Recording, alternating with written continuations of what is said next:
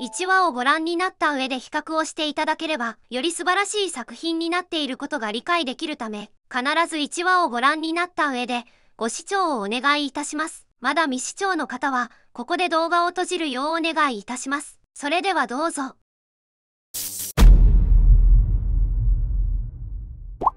流浪に拙者は流浪に当てのない旅の見学でござるよこの町に着いたばかりで辻斬りと言われても何のことやら。流浪に。拙者は流浪に。当てのない旅の見学でござるよ。これで人を切れると思うでござるか？手負いでの深追いは命取りでござるよ。相手は流儀を名乗っておるのだから焦らずとも。無茶でござる。神谷家臣流はうちの流儀よ。あいつはうちの名を語って辻斬りよ気丈な娘でござるな。剣は狂気剣術は殺人術。どんな綺麗事やお題目を口にしてもそれが真実。薫殿の言ってることは一度も己の手を怪我したことがない者が言う甘っちょろいざれ言でござるよ。けれども拙者はそんな真実よりも薫殿の言う甘っちょろいざれ言の方が好きでござるよ。願わくばこれからの世はそのざれ言が真実になってもらいたいでござるな。剣は狂気。剣術は殺人術。それが真実。薫殿が言っていることは一度も自分の手を怪我したことのない者が言う甘いざれ言でござる。けれども拙者は真実よりも薫殿の言うざれ言の方が好きでござるよ。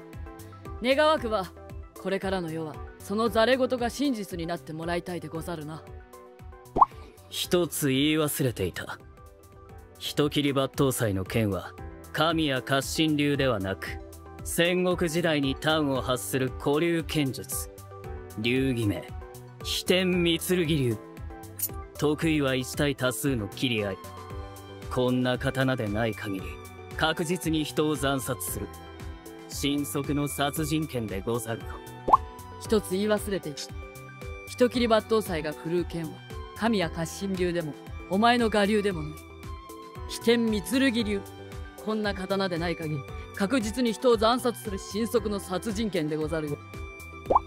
抜刀斎の名に未練も愛着もないがそれでもお前のような奴には譲れんよ。抜刀斎の名に未練も愛着もないがそれでもお前のような奴には譲れるよ。すまないでござる薫殿。拙者騙す気も隠す気もなかった。ただできれば語りたくなかったでござるよ。すまないでござる薫殿。拙者隠す気はなかった。ただできれば語りたくなかったでござるよ。謙信。日村謙信。それが拙者の今の名前でござる。拙者も少し旅に疲れた。流浪人ゆえまたいつどこへ流れるかわからないがそれでよければしばらく厄介になるでござるよ。日村日村謙信。拙者も少し旅に疲れた。いつまたどこへ流れていくかわからぬよ。料理は下手だし間違って風呂場を見てしまうことも。はあすすごい力でござるな。そんな日村謙信のプロフィールは身長158センチ体重48キロ生年月日1849年6月20日から6月20日へ変更。血液型 AB 型星座双子座出身地不明。関西武器酒場島流儀飛天三剣流。特技口八丁。苦手なもの。薫の料理。人斬り抜刀斎とうとう見つけたわ。辻斬りも今夜でおしまいよ。覚悟なさい。おろ？とぼけるな。こんな世の中に配当令を無視して刀を持ち歩くなんて他にない。お？待て。待て人斬り抜刀斎。ん？とうとう見つけたわ。思ったより優男ね人斬り抜刀斎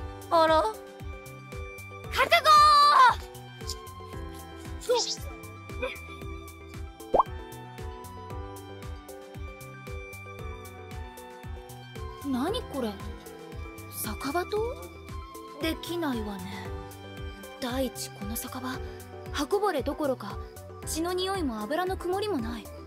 新品同様だわ。あなた本当にただの？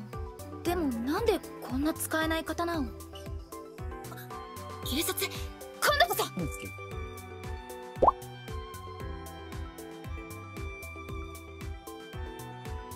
何これ？歯が逆についてる。酒場と確かに刃こぼれ一つない。新品同様の刀だわあなたね。ここんとこ毎晩抜刀斎が現れて辻切りで切りまくってるの。こんな時間に刀刺してうろうろしてたら誰だって大体この明治の世の中刀を刺して歩くのは法律で禁止されて。今度こそ本物。あらま待ちなさいよ。私一人でどうやって流儀を盛り立てろって言うのよ。少しくらい力を貸してくれたっていいじゃない。私は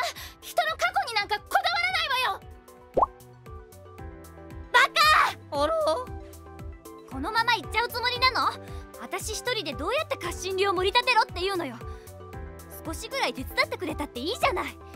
私は人の過去になんかこだわらないって言ったでしょ。バットンさんにいてほしいって言ってるんじゃなくて私は流浪人のあなたにいてほしあもういいわ。生きときゃ生きなさいよ。でもせめて名前くらいは教えてからにしてよ。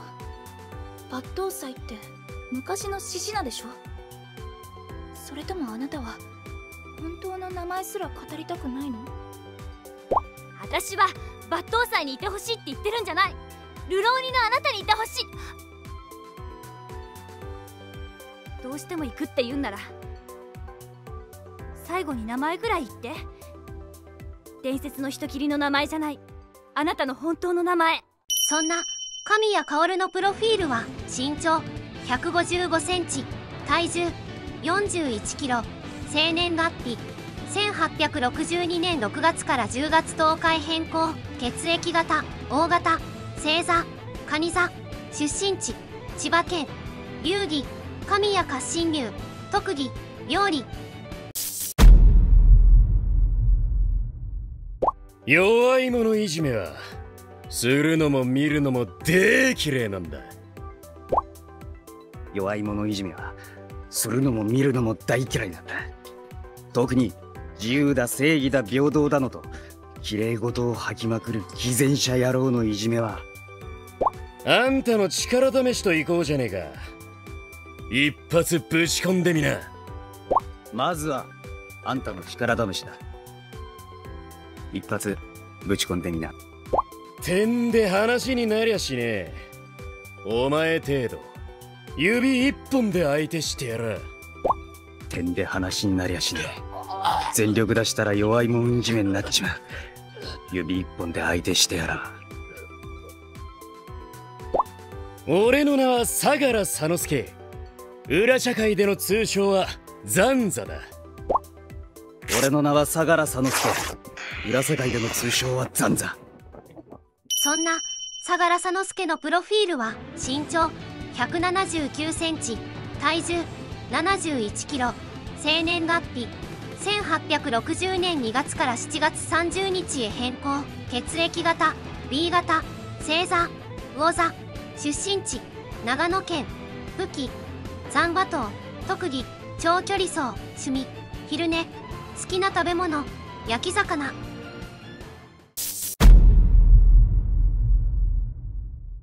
東京府士族明神弥彦俺はわっぱじゃねえ！東京士族明神弥彦。他人から憐れみを受けるほど落ちぶれちゃいねえんだ。助けに行く。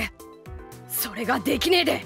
何が神や活心流だ。助けに行く。それができねえで。何が活人剣の神や活心流だ。バローこんなことでへばってんじゃねえぞ。バローなことできるわけねえだろ。そんな明神や彦のプロフィールは身長128センチ体重23キロ生年月日1868年8月から11月26日へ変更。血液型 B 型星座獅子座出身地東京府武器市内流儀神谷活心流趣味稽古好きな食べ物牛肉スイカ。野暮ね。女に過去を聞くなんて。女の過去を詮索するなんて。野暮よ。毒治療は時間との勝負よ。解毒治療は時間との勝負よ。おはぎなんて作るの何年ぶりかしら。おはぎなんて作るの。何年ぶりかしらね。生きて医学に携わっていれば。